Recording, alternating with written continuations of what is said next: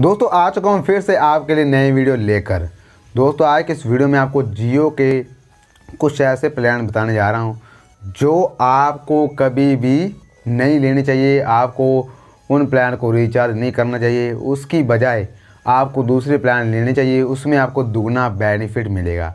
तो अगर आप जानना चाहते हैं कौन से जियो के ऐसे प्लान हैं जो आपको लेने से काफ़ी ज़्यादा फ़ायदा होगा। तो आप इस वीडियो को पूरा देखते रहिए। यहाँ पर फ़ायदा कुल मिलाकर आपका ही है, अगर आप वीडियो को पूरा देखेंगे। लेकिन उससे पहले हमने एक नया चैनल स्टार्ट किया है।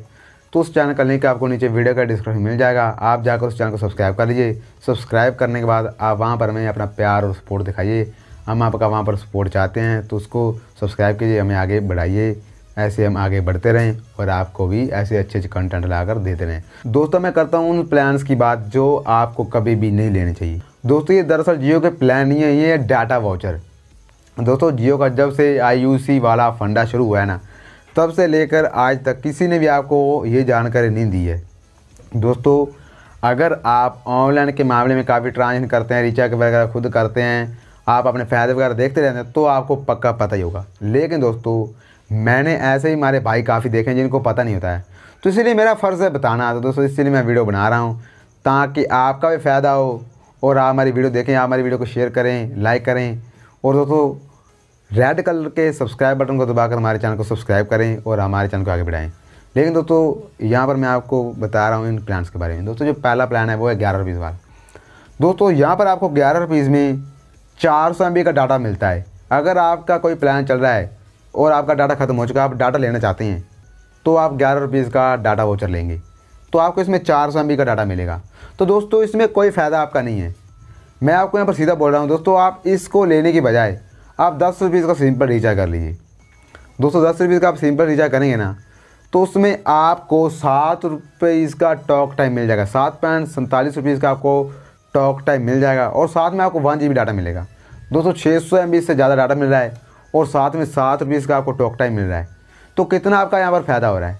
दोस्तों ये जियो ने बाद में लाए थे, जैसे कि आई यू चार्ज आया था।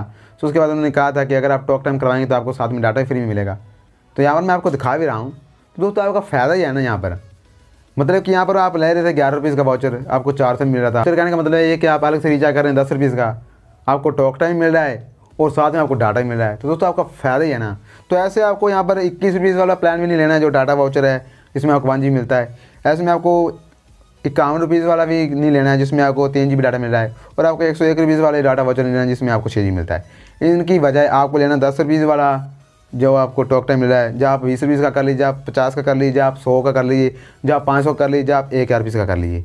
यहाँ पर आपको दस रुपीज़ वाले में एक जी मिलेगा, बीस रुपीज़ वाले में दो जी मिलेगा, पचास रुपीज़ वाले में पाँच जी डाटा मिलेगा, और सौ रुपीज़ वाले में दस जी डाटा मिलेगा, और पाँच सौ वाले में पचास जी का डाटा मिलेगा और एक हज़ार रुपीज़ के प्लान वाले में आपको यहाँ पर सौ जी डाटा मिलेगा और साथ में आपको यहाँ पर टॉक टाइम मिलेगा। दोस्तों, इन सारे प्लान में जैसे कि बीस रुपीज़ वाला रिचार्ज करेंगे तो आपको चौदह रुपीज़ का टॉक टाइम मिलेगा। मतलब चौदह पॉइंट पचानवे रुपीज़ का आपको टॉक टाइम मिलेगा। अगर आप पचास पीस करेंगे तो आपको उनतालीस पॉइंट सैंतीस रुपीज़ का टॉक टाइम मिलेगा। अगर आप सौ रुपीज़ का करेंगे तो आपको एट्टी वन रुपीज़ का टॉक टाइम मिलेगा। अगर आप पाँच सौ का करेंगे तो आपको चार सौ बीस का टॉक टाइम मिलेगा। अगर आप एक हज़ार रुपीज़ का करेंगे तो आपको आठ सौ चालीस रुपये का टॉक टाइम मिलेगा।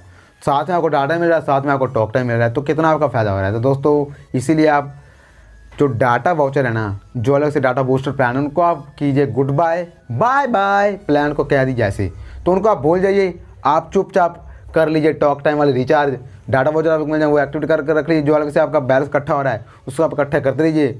और लास्ट में जाकर जब काफ़ी ज़्यादा बैलेंस हो जाए, जैसे कि एक सौ उनचास हो जाए, या इससे ज़्यादा हो जाए टॉक टाइम को इकट्ठा कर कर आप कोई भी प्लान एक्टिवेट कर सकते हैं। तो आपका फ़ायदा यहाँ पर हो ही रहा है। दोस्तों, ऐसे आप कीजिए, ऐसे आप अपना दिमाग चलाइए और आप अपना फ़ायदा काफ़ी कर लीजिए। दोस्तों, अगर आप ऐसे अपना दिमाग चलाएँगे तो आपका यहाँ पर काफ़ी ज़्यादा फ़ायदा होगा, आपका हज़ारों रुपीज़ तक फ़ायदा होगा अगर आप ऐसे चलेंगे तो। तो आप ऐसा कीजिए, अपने हज़ारों रुपीज़ का फ़ायदा आप कर लीजिए। तो दोस्तों, आज के वीडियो यहाँ तक थी। मैंने आपको पूरी जानकारी दे दी है कि आपको कौन से प्लान लेने चाहिए, आपको क्या करना चाहिए, आपको कैसे प्लान लेने चाहिए। कैसे आपका फ़ायदा इसमें होगा, कितने आपके फ़ायदे, मैंने आपको पूरी जानकारी दे दी है। अगर आपको वीडियो अच्छी लगी है, आप हमारी जानकारी से संतुष्ट हैं तो वीडियो को लाइक कर दीजिए और चैनल पर नहीं चैनल को सब्सक्राइब नहीं किया तो चैनल को सब्सक्राइब ज़रूर कीजिए और वीडियो को शेयर ज़रूर कीजिए अपने फ्रेंड को, ताकि उनको भी पता चले कि जियो के ये डाटा वाउचर लेने की बजाय वो जियो का टॉक टाइम और रिचार्ज तो उनको भी पता चले कि उनका फ़ायदा किसमें हो रहा है।